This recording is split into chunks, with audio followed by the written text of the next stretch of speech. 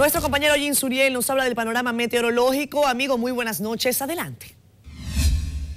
Muchísimas gracias, muy buenas noches. Se ha activado la temporada ciclónica en el Atlántico. Ahora tenemos dos tormentas y un huracán. Estamos hablando de Nadine, que se fortaleció en las últimas horas y se había fortalecido anteriormente como la depresión 15. Ahora se desplaza hacia el Atlántico Central. No es amenaza por el momento para la región del Caribe. También tenemos a Leslie, que está ubicada en el Atlántico Norte tiene una duración muy extendida. Este fenómeno atmosférico se fortaleció el pasado 22 de septiembre y todavía está sobreviviendo en el Atlántico. Inclusive tiene posibilidad de convertirse en un huracán categoría 1 una vez más porque ya anteriormente había alcanzado esta intensidad. Y también damos seguimiento a Michael con categoría 2, pero podría ser categoría 3 durante las próximas 24 horas.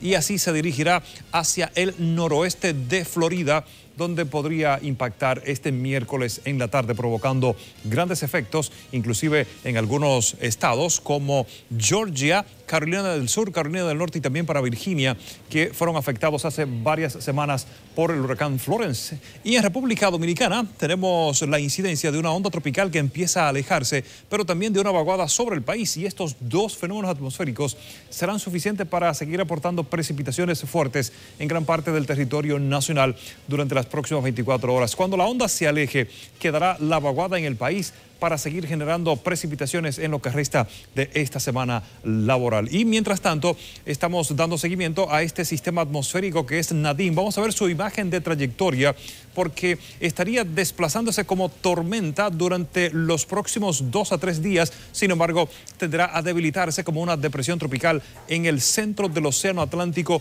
por lo que no es amenaza para la región del Caribe y tampoco para República Dominicana. Estas han sido las informaciones meteorológicas Regreso contigo.